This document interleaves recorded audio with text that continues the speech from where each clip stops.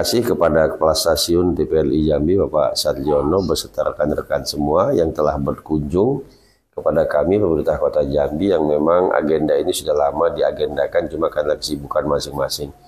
Tadi kami diskusi juga mengenai terkait dengan Kota Jambi, kemajuan-kemajuan Kota Jambi, kemudian juga banyak hal yang ditampilkan TPLI Provinsi Jambi, TPLI Jambi, tapi uh, untuk ikonnya banyak menampilkan dari ikon-ikon yang ada di kota Jambi. Kemudian juga uh, tadi saya juga menyampaikan uh, permasalahan-permasalahan di kota juga yang mungkin perlu liputan, perlu uh, sosialisasi media untuk apa? Untuk menyampaikan kepada masyarakat apa saja yang sudah kami perbuat ini.